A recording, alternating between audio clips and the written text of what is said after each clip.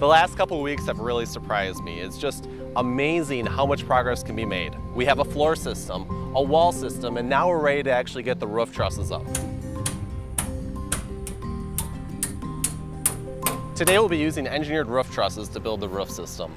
This is just one of over 50 different profiles that we have here on the job site. What's nice about that is these are already pre-built. That means they'll be able to be assembled and installed very quickly. The builder doesn't have to build anything on site. Additionally, what's really nice is I am in the heart of Wisconsin and we get pretty cold winters here. So all of these were engineered to handle the heavy snow loads. Golden Eagle engineers each home specifically to meet or exceed the local building code. So whether it's an earthquake zone, hurricane, or heavy snow load area, every home, including the roof system, is designed for your area.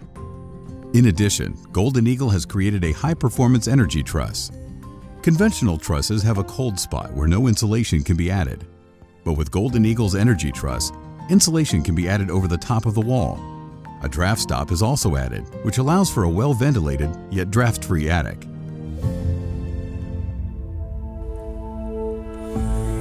Next, the crew begins building the roof overhang. Zach has chosen the stepped craftsman-style overhang. This not only adds style to the home, but also protects it from the elements with its generous 3 and 4 foot overhangs. With the roof framing complete, the crew starts to add roof sheathing.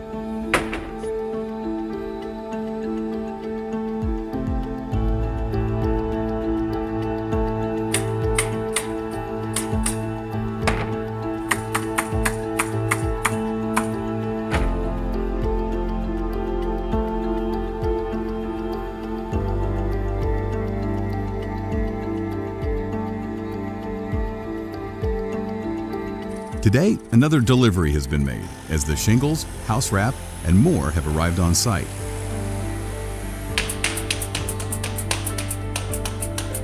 The crew applies the weather-resistant house wrap to keep the home warm and dry.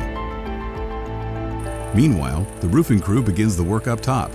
They start applying the ice and water underlayment.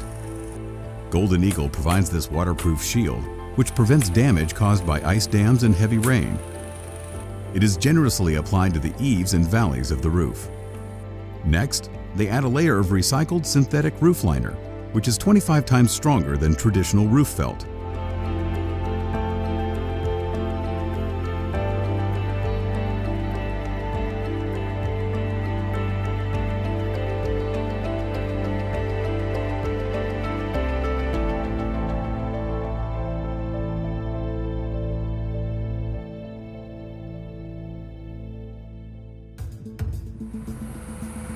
The concrete crew has arrived on site and they begin pouring inside the garage and basement.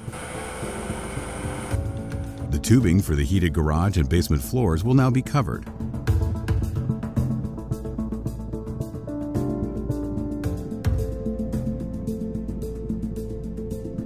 Once the concrete cures, they will connect the tubing to the boiler. Today we're installing the boiler. The boiler is going to heat the in-floor heat in my basement as well as in the garage. It'll also heat the hot water that runs through the home. And then it's also heating the air exchange. So the forced air that goes through the home, that air is also being heated up by that boiler. The house is now ready for the next step, the covered porch. Like the roof system, the porch is also designed to withstand heavy snow loads. To finish off the deck, Golden Eagle supplies a treated, custom hand-hewn trim board to match the half-log texture on the rest of the house.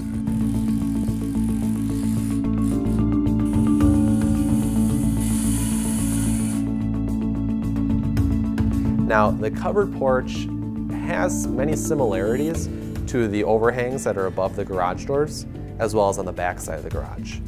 See, these overhangs have beautiful timber rafters supporting them. And I've got 2 by 6 decking that I want to put above it. And that 2 by 6 decking then would support a metal roof. And that metal roof is then going to accent off of the shingles. In addition to the eaves and valleys, all low-sloped roofs are covered 100% and waterproofed.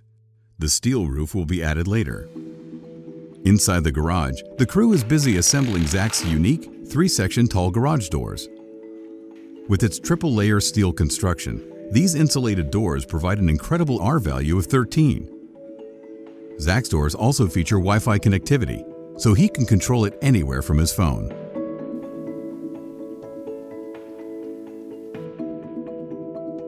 Inside the basement, the crew is framing up the utility room.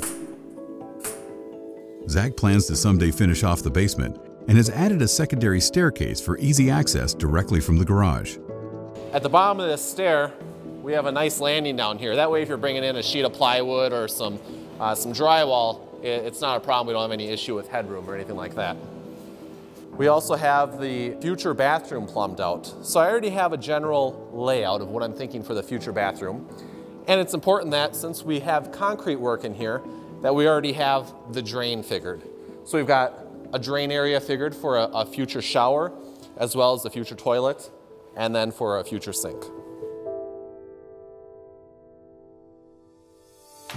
The next day, the maintenance-free windows are installed.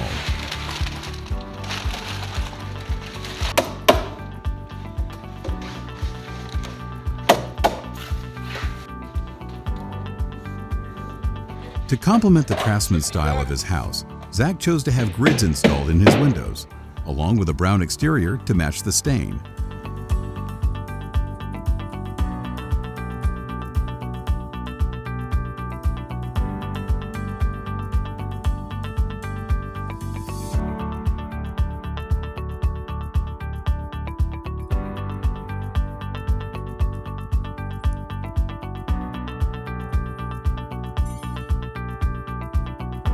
What's really nice about these window wells is they're allowing a lot of natural light into the basement.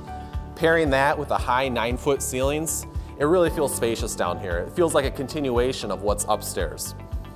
The windows have been framed in with massive 4 inch thick by 12 inch wide hand hewn trim. Decorative custom timber brackets are added to the covered porch, and the railings will be added later. The home's exterior is ready for the next step, applying the 12 inch tall double hewn half log timber trusses, cedar shingles, and more. Subscribe and follow along as Zach's dream home becomes reality.